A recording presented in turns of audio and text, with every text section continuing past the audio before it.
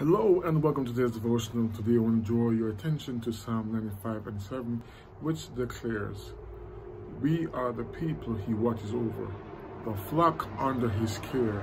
If only you would listen to his voice today. Um, just a quick reminder of just how important we are to God. We are described by the psalmist as the people he watches over, the flock under his care. And, you know, if you know anything about shepherds, you know that the shepherd um, will do just about anything for his sheep, including to lay his life for his sheep, much the same way Jesus, the good shepherd, did. And so today, I want to remind you that you matter to God, that you matter to Christ Jesus. And so, with that in mind, please be open to his voice. Please follow his lead.